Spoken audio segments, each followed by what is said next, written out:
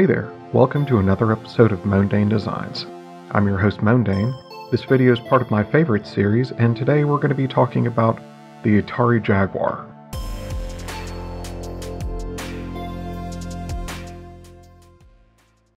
So the Atari Jaguar was released in November 1993 by Atari. I think it was their sixth system that they had come out with. And it was commercially a flop. Just get to the end of that story. But you guys know me. I I really do love my underdog systems. I love the TurboGrafx 16, and I actually found some enjoyment in the Atari Jag, and these are my favorite games. I still own my Jag, and then later I might go over some stuff about like what you need to look out for. So first up is Raiden 1994 by Imagitec Design. It's a shmup. It's Raiden. A lot of people consider the Jag version of the game to be the best version of it. I think they're right. It's definitely a very good home console version nothing's going to really compete against an arcade cabinet that's just been dedicated towards it. But it's still really, really good. Next up is one of the Jaguar CD games, which, yes, I do have a Jaguar CD. Yes, it works. No, it's not the best thing in the world, but if you maintain it, you're fine. But it's Dragon's Lair, released in 1995 by ReadySoft. I love Don Bluth's art style. I've watched a lot of his stuff. It's just an art style that really does speak to uh, my childhood. I absolutely love it to death. And Dragon's Lair, this is a good port. Of course, it's it's kind of hard to, to mess that game up, other than just to reduce the resolution to the point where console can handle it. Next up, I've got Doom, released 1994 by ID Software.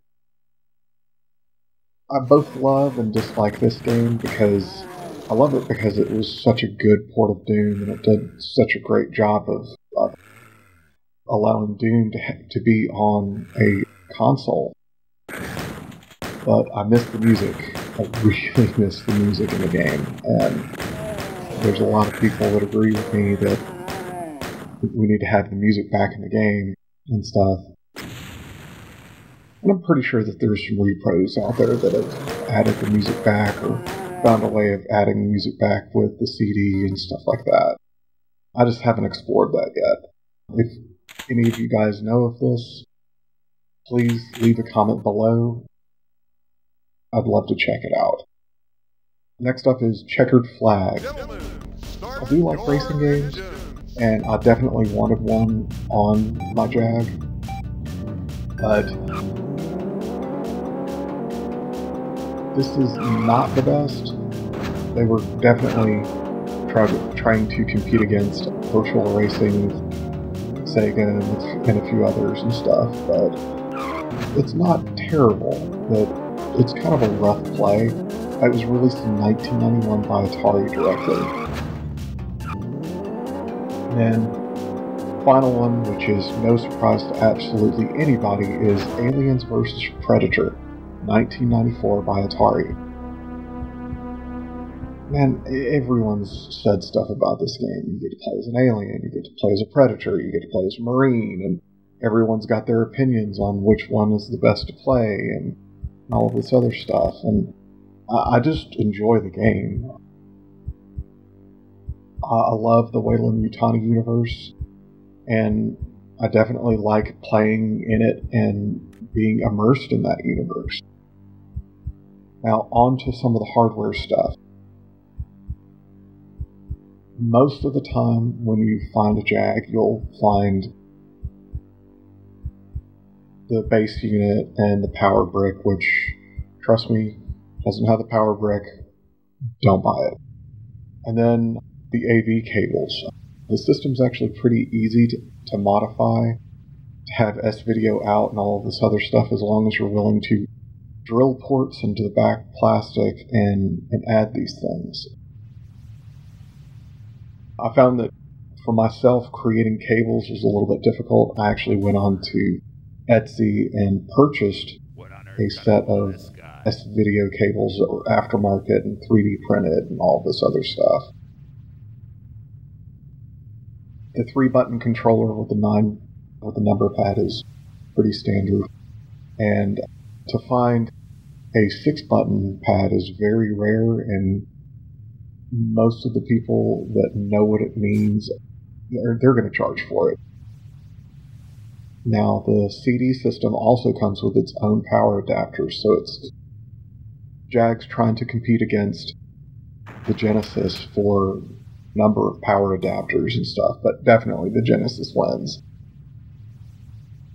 But so the, the Jag CD, most of the time they have a hard time working. It's usually just the connectors need to be cleaned.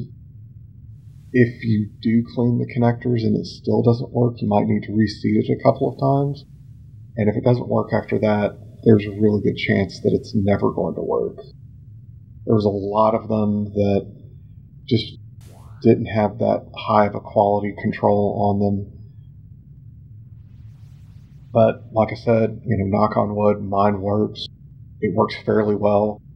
Every once in a while, I do. I still have issues, even though mine's in good condition. I do have issues where uh, cartridges will not play.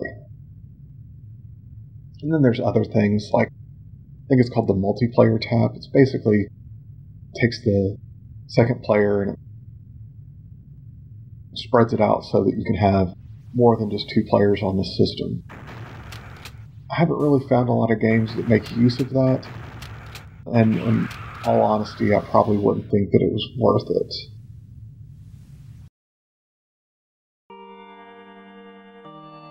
Well, that's it for this episode of Moandain Designs. I'm your host, Moandain, and I hope you enjoyed this episode as much as I enjoyed making it. If you like what you see, you can support me and my channel on Patreon by clicking one of the links below. As always, please like, comment, and subscribe, and have a wonderful day.